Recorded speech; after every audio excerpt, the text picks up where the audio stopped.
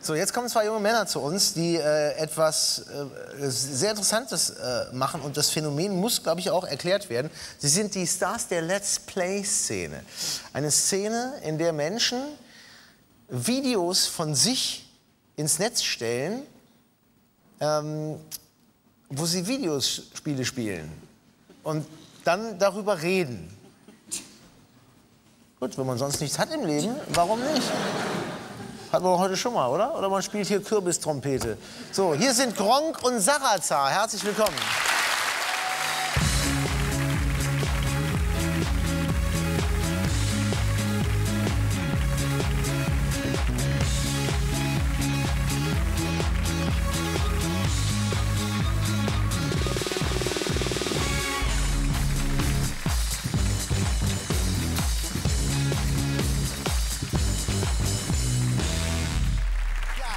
Willkommen.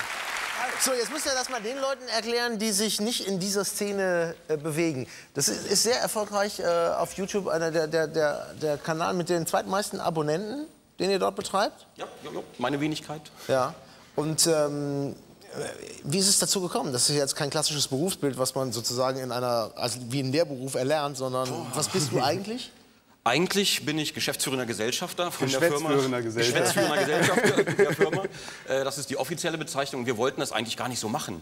Wir wollten eigentlich nur Spielereviews machen für so ein Online-Portal, wo wir halt über Spiele reden. Ja. Und da gab's, äh, da sind wir über diese Szene gestolpert und haben angefangen, selber auch mal einfach diese Videos voll zu quatschen mit irgendwas, was einem gerade einfällt. Ja. Äh, irgendwelche spontanen Witze, teilweise auch äh, aus dem eigenen Leben, so ein bisschen Erfahrungswerte mitzugeben, ein bisschen Moralpredigten vielleicht. Ja.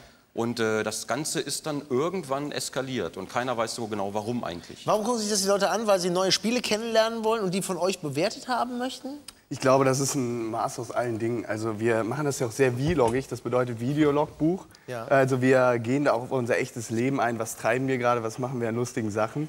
Und ich glaube, du hast natürlich auch viel Humor, wir machen Witzchen da drin und all so ein Zeugs. Also ich glaube, es geht nicht nur ums Spiel, das Spiel natürlich auch, aber das sind so eine 50-50-Mix aus beiden Faktoren. Gronk und Sarazar, sind das eure Nachnamen oder sind das, äh, äh, sind das Nee, Kosenamen? Nein, das wär, wär, nee, eigentlich heiße ich Valentin Ramel, also nicht Okay. wirklich. Also wir haben halt irgendwann mal vor tausend Jahren irgendwelche Nicknames im Internet, waren wir auch noch klein. Okay, Ja, also verstehe. ist lange her. Der Gronk hört sich ein bisschen an wie diese äh, hier, wie aus, äh, wie der Zong, so ein bisschen. Passt Boah, auch zu ihm. lange her. Das, ja, das passt, das passt ungefähr. War auch so geplant. Das sollte eigentlich Ja. so ein einfältiger Troll sein damals, der von nichts eine Ahnung hat. Und so wollte ich damals meinen Support-Job bestreiten. Deswegen habe ich diesen Nickname damals erfunden und der hat sich bis heute irgendwie getragen. Ihr habt auch einen Clip gedreht, wo ihr GTA 5 gespielt habt. Ja. Das neue Megaspiel. Ist es so gut, wie alle sagen? Schon geil. Schon geil, oder? Also auf jeden Fall. Spielst du selber eigentlich? GTA 5 spiele ich ja. Natürlich spiele ich GTA 5. Sehr gut, ich habe die Special Edition, da ist das Atomic-Luftschiff schon freigeschaltet. Sehr geil, sehr geil. Ist noch keiner geflogen irgendwie. Nee? Ach, Nee. guck mal hier. Ich, am liebsten fliege ich mit meinem Buzzard Kampfhubschrauber über, äh, hier, über, über Mount Chiliad. Also du musst, ihr kannst mir jetzt viel ja sagen, wir kennen uns auch nicht super geil aus in den Spielen. Also wir sind ganz stinknormale Leute. Wir sind jetzt auch nicht die super Kampfjet-Piloten oder sowas. Wir sind eigentlich Also nicht so wie du casual. jetzt, äh, du hast das Ja. wahrscheinlich, äh, machst nichts mehr anderes mehr außer GTA. Wir sind Absolut, absolut, absolut. Heute Abend nach also ich Hause hänge einfach nur GTA. mit Trevor ab auf einer Sanchez und, dann, und dann düsen wir durch Blaine County. geil. Absolut. Da geht's ab. Gibt's ja noch andere Szenen aus der, außer der Let's Play-Szene? Leute, die dann irgendwie anderes Zeug machen und dafür, sag ich mal, andere Kanäle entwickelt haben?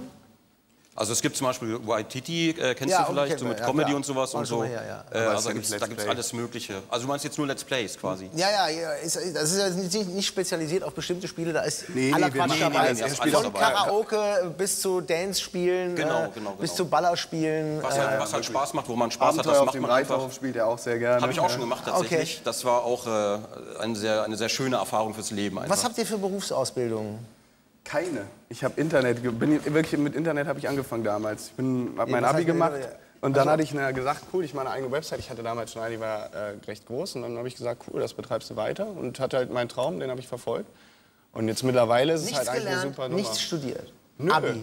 Aber du hattest damals auch keine Ausbildungsdinger, Ja, weißt du, ja für, für diesen damals. Bereich. Was willst du machen, ja? Also ich, ja, ist halt so, ne? Muss irgendwie durch. Wie ist es bei dir? Ich bin Softwareentwickler, gelernter Softwareentwickler. Ah, okay, das ist ja schon mal was. Genau, mache ich auch immer noch heimlich gerne mal. überbewertet. Ja. Naja, heutzutage gibt es die irgendwie. Ist das, so, ist das so, dass es jetzt, dass es mehr, mehr ist als, als Hobby? Also ihr, ihr könnt davon leben. Ja, wir haben aber auch verschiedene Sachen. Also wie gesagt, wir machen ja dieses Let's Play Together Live, diese Sendung. Ja. Dann haben wir die normalen Let's Plays über YouTube. Dann Websites. haben wir Websites. Also wir haben halt viele, viele, viele Sachen, viele Standbeine aufgebaut. Okay, also alleine würde das noch nicht reichen, selbst wenn man es professionell betreibt, um davon seine Brötchen zu verdienen? Eigentlich schon sehr gut.